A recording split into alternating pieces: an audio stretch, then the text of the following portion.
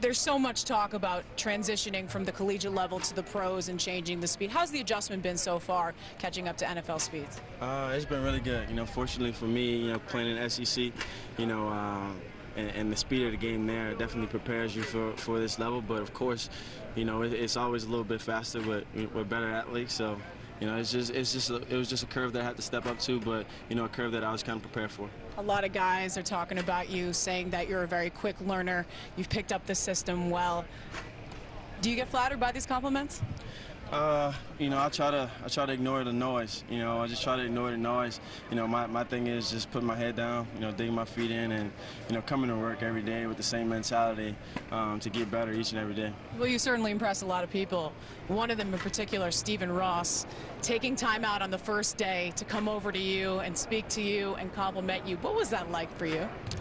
Oh man, it's, it's tremendous honor. You know, tremendous honor to you know to, to, first you know first get my first opportunity to shake his hand and you know uh, really introduce myself face to face. You know, and you know be able to to talk to him and you know accept that that that comment that he made about me. You know, it, it really says a lot about him, and you know I'm very honored to be a part of his organization. How important is that as a rookie to make your mark on special teams, get on the field in it by any means necessary? I can't wait.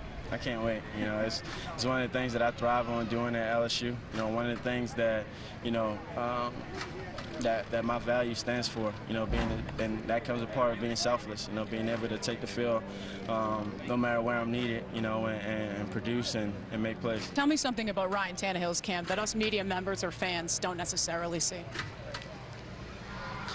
The way he's throwing the ball, you know, the way he's throwing the ball and conducting this offense, you know, this new offense for him, you know, and the way he's throwing the ball and conducting this offense, you know, as, as a leader, you know, taking control, pushing the tempo, you know, and he's really becoming a student of the game, you know, far more than I've ever seen any quarterback do. So I'm excited to see how the season plays out. And tell me a little something about you and, and your past. So you were essentially raised by your youth football coach. Yeah, yeah. Um, um, my mom gave up custody of me um, at an early age, and um, you know, from from from that point on, I was you know with my coach, and you know, guess guess raised up in a more structured you know home, and uh, still in all, I ended up moving back to my mom, you know, but it made me who I am today, and I'm, I'm grateful for the sacrifice that my mom made in order to see me um, live a little bit better. What are your expectations for 2014, and and can they be tempered? Because I know that you dream big. Yeah. Uh, just just get on the field any way I can. Any way I can. Uh, you know, you mentioned Brian and Mike. You know, the, those guys do a great job of mentoring me and taking me under their wing. You know, we, we joke around a lot, but at the same time, you know, they, they push me um, just like any other rookie, you know, to, to get better and, and earn my keep. So, you know, for me, it's just being excited about the opportunity and when my numbers call, making plays.